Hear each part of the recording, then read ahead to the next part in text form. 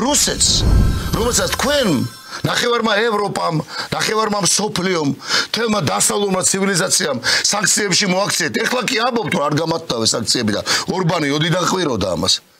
15 მილიარდელით მეტი კაცი შეიძინა.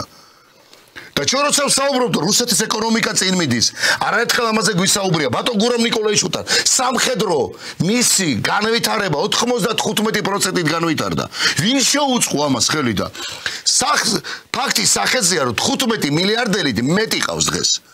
ანუ არის თუ არა ეს კონფლიქტი? სხვა დანარჩენი მსოფლიოსთვის ეკონომიური ინტერესი. და პირველი ვიზეთ საუბრობთ ამერიკის შეერთებული შტატების. ან სახე არ გეცნობათ ან ქცევა არ გეცნობათ. და ბლინკენის და მათი კიდე წარმომადგენლების განცხადება რომ ვიბრძოლეთ ბოლო უკრაინელამდე. ვიყო ყველაფერს გავაკეთებთ რომ აღარ მინდა მოვიყვანო ისრაელის მაგალითი. ამ თემას საერთოდ არ ვეხები.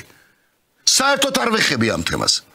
თელმა ლიბერალურმა ტელევიზიებმა გააშუქეთ რომ ჩვენმა გადავიდეთ ამ საკითხს რუსეთ-უკრაინის კონფლიქტზე. დრეპრი დაიბომბა გაანადგურა მიწასთან გაასორა და უიმე ორი ბავშვი გარდაიცვალა დაიღუპა.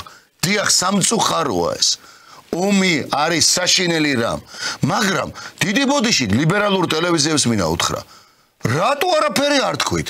რაკნა ისრაელმა ბოდიში მოიხადა თვითონ მეთანიახუმ ცოტა ზედმეტი მოგვივიდა შეცდომა დაუშვეთო და თქვენ რატო არ გააშუქეთ იქ რა ხდება?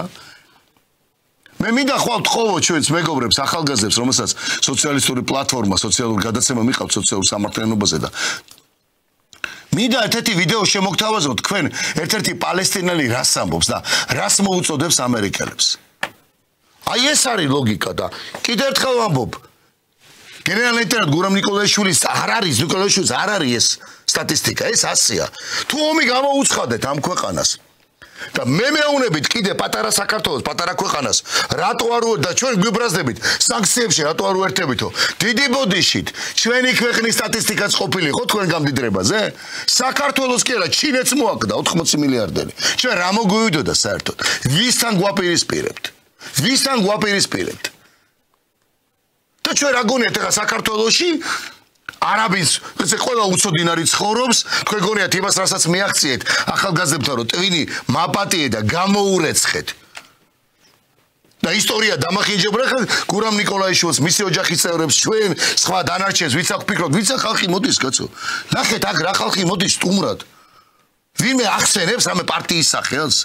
ნახეთ ისინი მათ ტკივად ისინი ასე ხედავენ. ესეთი ანალიზი კეთდება აქ თორე სიმართლეს ვამბობ თორე ვინ ამბობს რომ ჩვენ აეხა რაღაცა სასაული ქვეყანა ვარ და პირველები ვართ ყველაფერში. მაგრამ არ მინდა და არ გვინდა ამ სტატისტიკაში ჩვენი გამდიდრებულის რა იქნებოდა რა იქნებოდა ჩვენი აქ წილი? აქ მხოლოდ ამერიკის ინტერესებია ანგლოსაქსების ინტერესებია